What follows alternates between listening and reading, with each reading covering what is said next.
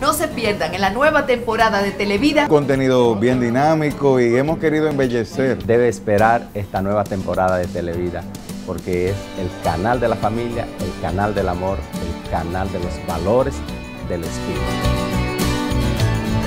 5 de marzo, el lanzamiento, renovación de Televida, el canal católico de la familia, y tú eres parte de ello, así que te esperamos.